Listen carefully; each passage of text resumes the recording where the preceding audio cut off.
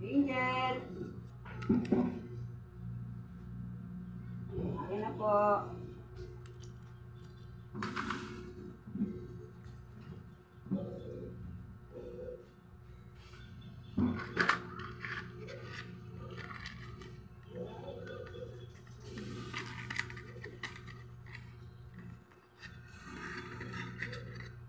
Jen.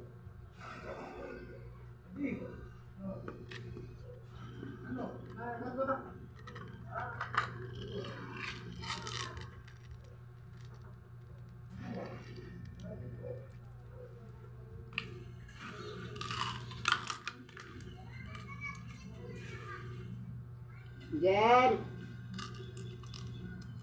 Sana.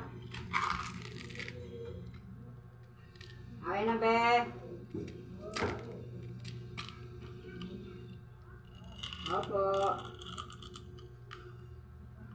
Hiram. Hiram ako, kuya.